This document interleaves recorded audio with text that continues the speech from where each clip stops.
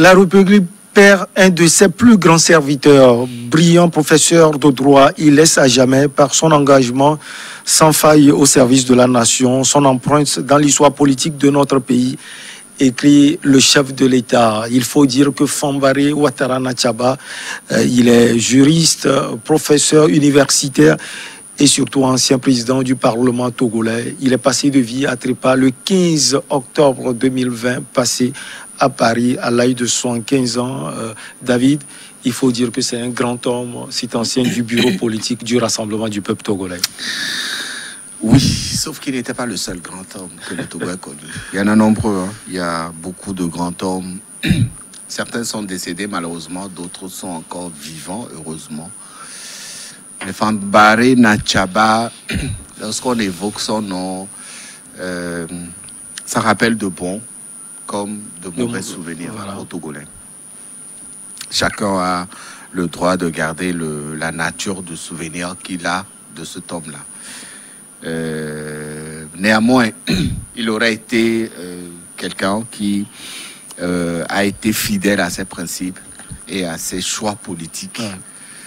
Euh, n'a jamais, n'a pas trahi, en tout cas pour ceux qui l'ont connu, euh, qui aurait pu trahir aussi pour ce qui s'est passé en 2005. En, 2005 au moment où euh, la, le fauteuil présidentiel devient était président. destiné.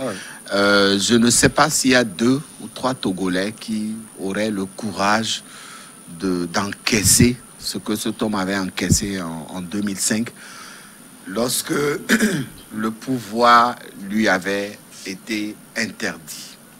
Est-ce qu'on avait peur de lui? Est-ce qu'on avait peur de lui? Euh, Moi, je ne saurais répondre. Parce que les conditions dans lesquelles Adema, paix à son âme, était décédé aussi, il fallait euh, tout de suite trouver une solution. Il y avait une grosse peur qui s'est emparée euh, de l'armée et euh, du gouvernement qui était là en 2005. Il fallait trouver une solution. La solution, c'était de, de, faire ce qu'ils avaient fait là. On a tous vu. On va pas revenir là-dessus. Mais pour Nachaba, réellement, comme je le disais, euh, c'est quelqu'un qui sait ce qu'il avait fait. Euh, il aurait été, il, aurait, il, il, aurait pu devenir opposant de sa propre formation politique pour ce qui s'est passé en 2005.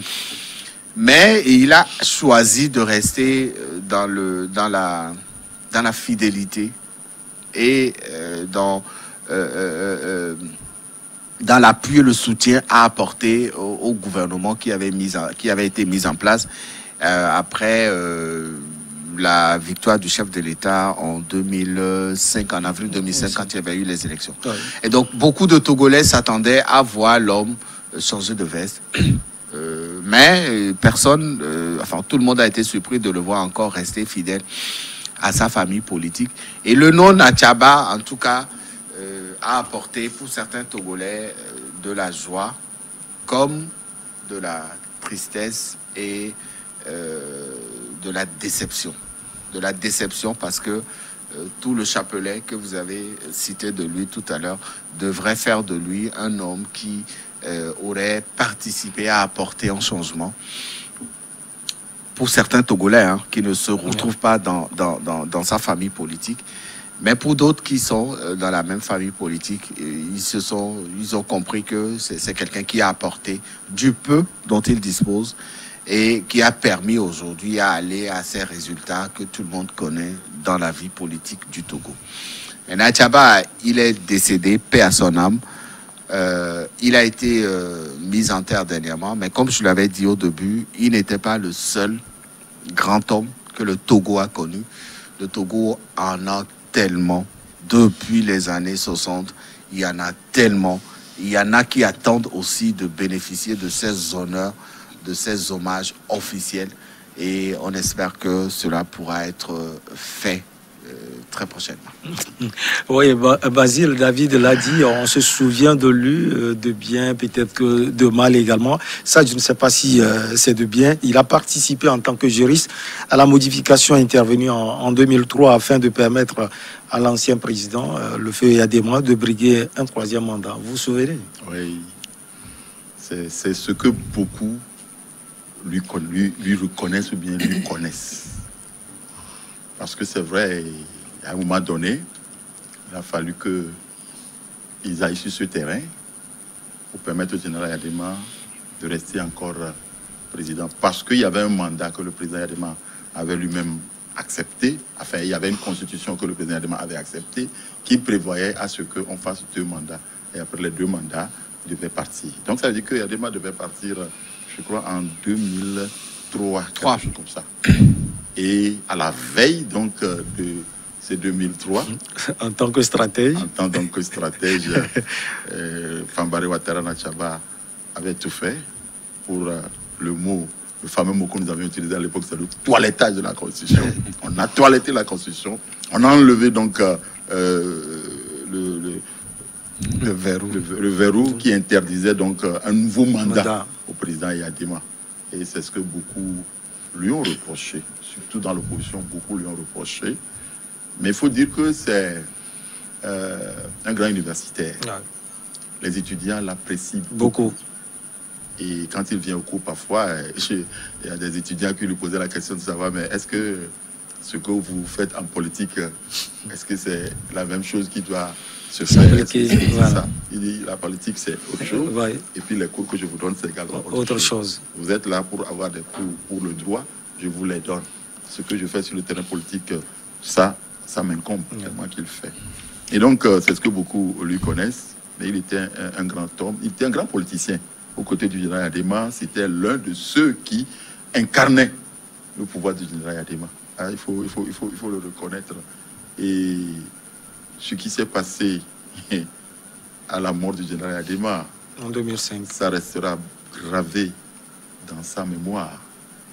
Mais ce qui s'est passé, c'est parce que, vous savez, dans la cour, la grande cour du général Adema, beaucoup ne l'aimaient pas. Beaucoup. Beaucoup avaient peur de lui. Voilà.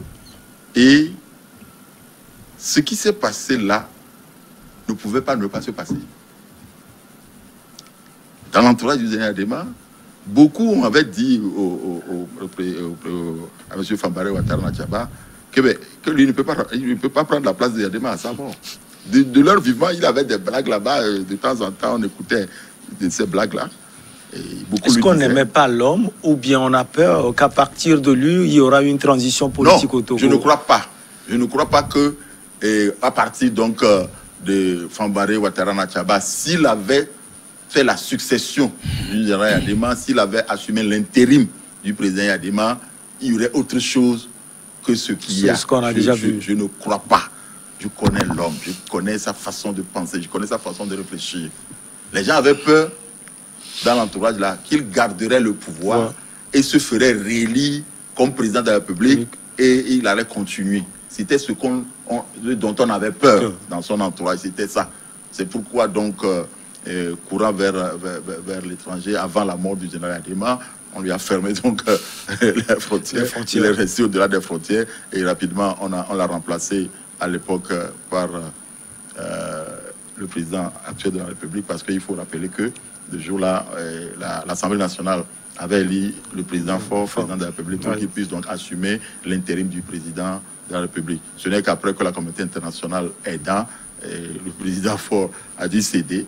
Il y a eu un autre président de l'Assemblée nationale, notamment celui Abbas, Abbas, Abbas- qui a pris et qui n'était vraiment pas dans, même dans les, dans les sièges euh, de, la, de la présidence de, de l'Assemblée et qui a pris et après donc euh, euh, a passé donc euh, enfin on a fait les élections et le président Fort a gagné. Ce dont les gens avaient peur, je vous l'ai dit, c'est qu'on pensait qu'il allait organiser les élections et prendre le pouvoir à l'époque. C'était ce qui avait fait peur un peu à, son, à l'entourage de Fambare Ouattara Machaba. Mais dire qu'il aurait fait, ne sais pas ce que les gens ont pensé. Et après, j'ai vu une opposition qui s'activait, qui dit, etc. etc. Mais Ouattara est revenu. Mais il ne pouvait pas quitter sa famille politique. Ouais. Non. Il allait, faire, il allait quoi, l'opposition? Voilà, il ne pouvait pas quitter ou bien il n'avait pas le choix. Il, y ne a aussi pouvait cela. pas quitter. Je connais l'homme. Nous avons, on a fréquenté l'homme, on a causé avec. Mais il ne pouvait pas. Il n'allait pas le faire. Les gens ont rêvé. Est-ce parce qu'on qu'il pouvait connaît l'opposition togolaise Il connaît l'opposition togolaise. Vous voyez, vous voyez Ouattara en train de, rentrer dans l'opposition. Non, non, non, il ne ferait, il ferait jamais ça. Aller là-bas, c'est se fourvoyer peut-être. Se fourvoyer, c'est quelqu'un, c'est ce que quelqu'un a fait aujourd'hui, Dieu ne trouve même pas. Donc, euh, il a resté fidèle, comme euh, le disait, il est resté fidèle à la mémoire du président Yadema. La situation qui a prévalu à l'époque lui a fait mal, c'est vrai. Il a mal reçu, c'est vrai. Mais quand il est revenu, il a vu que le vin est tiré, il faut le boire, il faut accepter, il faut s'aligner. Et il s'est aligné. Et quelques temps après, il, est, un peu tombé malade et donc euh, il a vécu. Mais quand même, le respect que les jeunes qui étaient donc, euh, qui avaient donc au pouvoir, le respect qu'ils lui ont donné, ils lui ont toujours donné ce respect. Ils lui ont toujours donné ce respect. Et il faut le reconnaître que c'est son fils, Malik, Malik qui est aujourd'hui au gouvernement. C'est déjà du gouvernement. Donc, euh, on lui reconnaît ça. Et je crois que c'est la raison pour laquelle le président de la République l'a appelé euh, un grand homme qui, qui, qui, a droit au respect. Je crois qu'il euh, a, il a fait ce que lui, il pense également faire pour ce pays. Il faut le lui reconnaître. Il n'y a pas d'homme qui reçoive l'assentiment total de la population. Lorsque tout le monde t'aime, un vieux qui m'a dit, si tout le monde applaudit pour toi... Surtout quand tu es politique. Quand tu es politique, il faut avoir peur. Il faut se regarder pour voir s'il n'y a pas quelque, chose, Qui, fait rire les gens plutôt que cela. Donc, euh, il est aimé par ceux qui l'ont vu. Il est détesté par ceux qui l'ont vu. C'est ça l'homme. C'est ça l'homme. Et donc, nous ne pouvons que nous incliner devant euh, sa mémoire et pour euh, demander à ce que Dieu l'accueille et que ses progénitures fassent également preuve d'une vie qui donne donc euh, respect à la mémoire donc, de l'île disparu. David, quand on voit les hommages qui lui sont rendus aujourd'hui, est-ce que c'est à cause de son héritage, l'héritage laissé par Fambaré Nachaba, ou bien c'est parce qu'il fait partie euh, euh, d'un parti politique qui aujourd'hui est toujours au pouvoir, même si on a changé de nom? Parce que, comme vous l'avez dit d'entrée, il y a également des hommes politiques qui ont marqué l'histoire du Togo et qui sont passés de vie à trépas. Il n'y a pas eu l'hommage là. Alors, ce qui se passe généralement euh, dans ce genre de situation, c'est euh, c'est ce qu'on est en train de vivre hein, avec, euh, avec Ouattara, feu Ouattara. c'est les hommages viennent plus de sa propre famille politique. politique. Pour le moment, c'est le constat qui est fait. L'opposition, je ne sais pas s'il y en a qui s'il y a un opposant ou alors s'il y a une formation politique de l'opposition qui a rendu autant hommage à Ouattara comme le fait le parti Unir, son président et le gouvernement togolais. C'est normal, il fait partie d'une formation politique, il est décédé, paix à son âme. Euh, c'est la famille politique qui va lui rendre hommage d'abord. Et c'est ce que nous sommes en train de voir. Euh, Ouattara, moi, je ne, le connais pas. Je ne l'ai pas connu. Euh, enfin, je l'ai connu comme tous les Togolais, puisqu'à la base, il ne me connaissait pas non plus. Voilà. Donc, je l'ai connu comme tous les Togolais. J'ai gardé de bons et de mauvais souvenirs de cet homme. Mais je ne, je ne le juge pas pour ses mauvais souvenirs parce qu'il était euh, rattaché à une conviction politique. Et donc, il devrait rester dans cette thématique-là pour justement défendre les intérêts de sa famille politique. C'est ce qu'il avait eu. Mais c'est un homme euh, euh, qui a euh, vraiment su imprimenter sa connaissance et sa maîtrise du, du droit et du domaine juridique. Malheureusement, beaucoup de ces étudiants arrivaient à le mettre devant le fait accompli, puisque ce qu'il enseigne dans l'amphi. Et aux antipodes de, et aux antipodes de ce qu'il fait. De ce qu'il pose comme acte, dans son en, politique. Et quelles que soient les raisons qu'il avance, euh, beaucoup d'étudiants euh, n'arrivaient pas à le saisir véritablement, puisque c'est un homme qui arrive à transmettre ses connaissances à ses étudiants.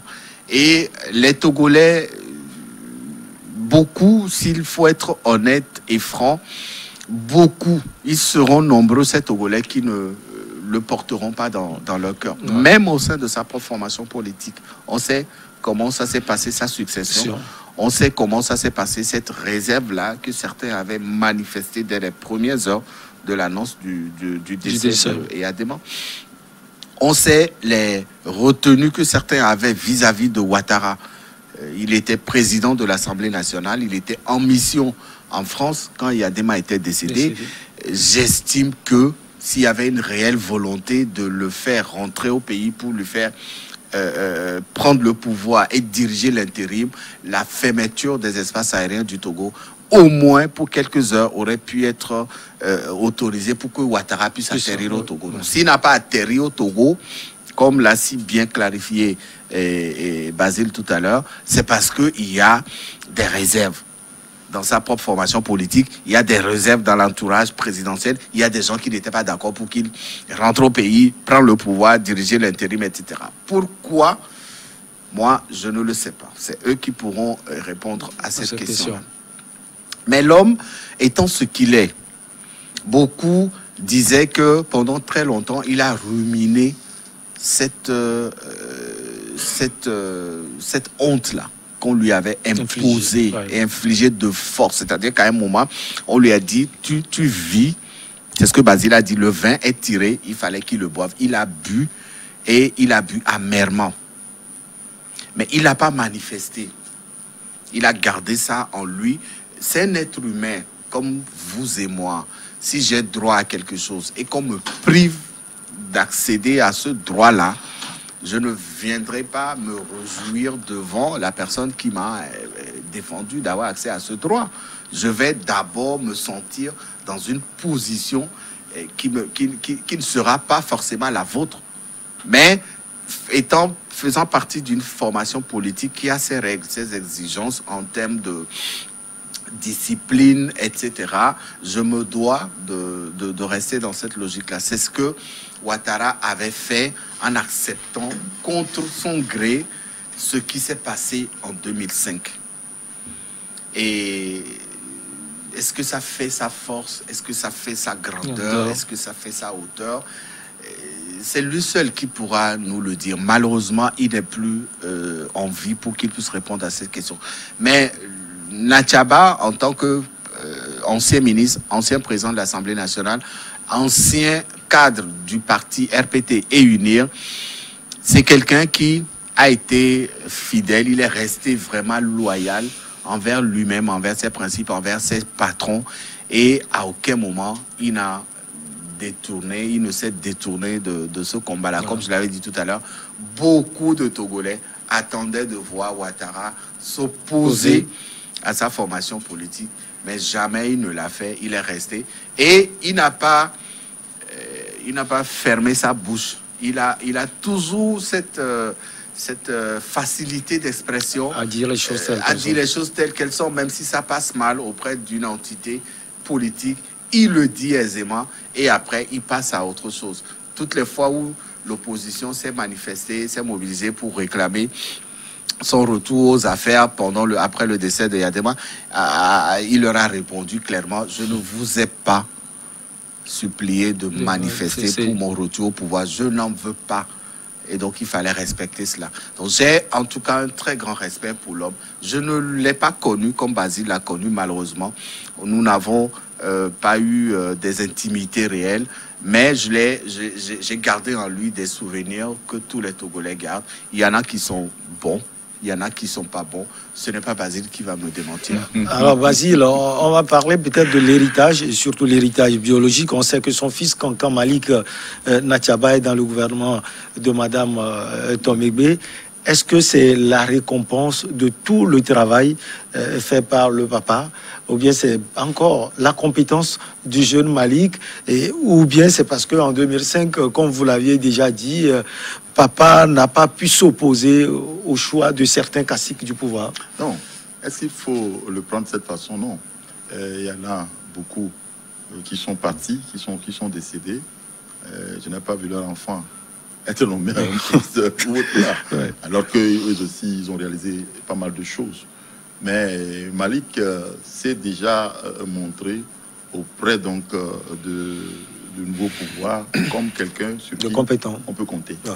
Et il a occupé des postes. Il a été entre-temps directeur de, de, la SALT, je crois, avant donc de retourner vers la présidence. Il était toujours dans les rouages de la présidence de la République Et la compétence qu'il a démontrée a permis aujourd'hui qu'on le nomme au poste qu'il est en train d'occuper Voilà. aujourd'hui. C'est vrai, peut-être qu'on dira que euh, c'est parce que son papa était donc euh, avec ce pouvoir. Et déblayé a le chemin. Voilà, qu'il a pu euh, euh, rapidement rejoindre le pouvoir pour faire le travail. Mais il aurait pu être certains autres qui auraient refusé d'être dans ce parti-là. C'est-à-dire, il était libre. On a vu beaucoup de personnes aujourd'hui, quand je vois sur les réseaux sociaux, il y a des noms que je ne veux pas citer ici, qui ont été des, des enfants hmm, qui, leurs parents étaient proches du général Adema, mais alors Qui- très proches du général Et Adema qui n'ont pas forcément mais réussi. qui, n'ont- voilà, qui ne sont pas arrivés Ouais, à et, et qui n'ont pas voulu euh, euh, intégrer le, le parti au pouvoir aujourd'hui. Donc ils ont fait. Donc Malik avait tout le choix, mais il a, sa, sa- sa conviction l'a amené vers le pouvoir avec lequel il est aujourd'hui et ses, ses compétences qui ont également joué pour qu'il occupe le poste qu'il occupe aujourd'hui. S'il n'avait pas ces compétences-là, ce n'est pas parce que son papa était président de l'Assemblée nationale que du coup le chef de l'État va dire non, ton papa était. Donc non, s'il n'avait pas les compétences, je crois que c'est les compétences qui l'ont poussé là. Donc l'héritage euh, qu'il a laissé, c'est vrai, c'est le parti qui verra l'héritage qu'il a laissé. C'est le RPT qui a vu euh, tout ce qu'il a pu déployer pour d'abord renforcer le, le pouvoir euh, du général Adema pendant que Adema était là, pour également renforcer le pouvoir euh, du, du- du président Fort pendant que Fort est là, parce que au-delà de ce que les gens ont pensé, il a compris après la nécessité du fait que qu'il accepte que ce soit fait comme ça. Ouais. Il a compris. Et il a fait marche avec. Et il a même aidé le chef de l'État dans beaucoup de choses, le chef de l'État actuel, dans beaucoup de choses. Il, a, il lui a confié un certain nombre de dossiers qu'il a gérés avant donc, euh, de tomber malade. Je crois que euh, l'héritage, c'est un homme qui a su rester et droit dans sa conviction et rester constant, comme on le dit. Et il n'a pas quitté la barque parce que l'ancien patron de la barque est décédé. donc il a quitté pour s'opposer. Beaucoup avaient, à l'époque, comme j'étais en train de le dire, pensé qu'il allait rejoindre l'opposition. Je vois mal euh, Ouattara Fambaré Nachaba, que je connais bien, rejoindre une certaine opposition pour euh, les beaux yeux. Ce, que je, ce dont je me rappelle de lui, c'est lorsqu'il y avait, donc il avait conduit une délégation pour aller faire euh, à une négociation. Et il disait, quand J-Christ, euh, vous savez, à l'époque, il dit, ben, J-Christ, c'est un terroriste. et un jour, il devait rentrer dans l'ascenseur. Et J-Christ était déjà dans l'ascenseur. L'ascenseur montait. Il devait également, il était sur un palier. Il devait monter. Et il appuie, l'ascenseur s'arrête. Et qu'il voit, c'est J-Christ qui était dans l'ascenseur. Et quand ils se sont vus, ils ont esclaffé de rire. Ouais. Les deux ont ri. Vraiment, les gens étaient surpris le jour-là. Et ils sont rentrés dans l'ascenseur, ils sont allés, ils ont monté ensemble Ouais. pour aller à la salle de réunion. C'est aussi avez- la politique. C'est ça la politique. Ce n'est pas parce que je m'oppose à toi sur un terrain politique que l'autre Donc je te on est vois, devenu très Voilà. non. Donc euh, les deux, je les ai appréciés à l'époque. Et après, les gens ont vu Jésus Olympio et Fabare Ouattara Nachaba causer ensemble. Ouais. Des gens étaient scandalisés. J'ai dit, mais pourquoi vous êtes scandalisés Non, c'est ça la politique. Politique. Et ça devrait être ça. La politique, c'est un jeu. Ouais. Et lorsqu'on le joue bien, on est à l'aise. Le matin, on peut, sur les médias, se griffer, se griffer et aller le soir prendre une bière et se et causer. C'est ça la politique. Beaucoup ne comprennent pas. Il y a parfois des émissions que nous passons ici qui sont chaudes. Ouais. On se rentre dedans. On sort, on prend une billet quelque part. Il y a une dame qui a approché certains confrères du mais, mais vous nous vous. trompez là. mais c'est vous qui vous battez tout à l'heure Voilà. sur les écrans. mais c'est vous. C'est ça la politique. Ça. Donc si nous comprenons comme ça que sur le terrain politique, on peut se donner des coups, mais dans la vie normale, on peut aller ensemble. Vous savez, le meilleur ami que Ouattara avait, c'est juste. À Javon. Il Il, se voit sur à, à- à l'université de Lomé. Oui. Voilà. Donc voilà, donc euh, il faudrait que les Togolais comprennent ça, que le, la politique, ce n'est pas la violence. On peut avoir des convictions différentes, mais lorsqu'on se rencontre en être humain, on collabore pour le bien du pays et puis pour le bien de nos enfants. Et David, dernier mot, l'héritage, encore euh, quelques héritages laissés par Fambaré Ouattara Nachaba. Ouattara Nachaba, euh, à son aurait. C'est. Vous savez, moi, euh, personnellement, comme je l'avais dit tout à l'heure, j'ai un profond respect pour l'homme parce qu'il faut être assez courageux pour véritablement chercher à affronter euh, ce qu'il avait vécu. Et donc, ça a fait de lui quelqu'un qui a été euh, apprécié ou, ne, ou pas apprécié euh, par les Togolais, c'est selon. Mais l'héritage qu'il a laissé euh, à sa formation politique, c'est celle qui est relative au fait qu'il faut toujours rester constant, fidèle et loyal à sa famille politique et ne pas faire demi-tour pour des raisons qui puissent euh, motiver votre éviction ou alors votre mise à l'écart de cette formation politique. Ouattara était opposant à Eyadema Oui. avant de rentrer, Oui. avant de se ranger derrière Il y a Eyadema. des bons. Et quand il est arrivé, il a compris qu'il fallait euh, accorder une sorte de dévotion et de fidélité à Oui. Eyadema. Et C'est ce qu'il avait fait jusqu'à jusqu'à jusqu'à son décès. Il a manifesté aussi après le décès de Eyadema. Il, il était toujours derrière le chef de l'État. Il a fait ce qu'il pouvait faire pour euh, sa formation politique. Alors moi, pour son fils euh, qui euh, En 30 secondes. voilà, qui malheureusement n'a pas la fougue de son père.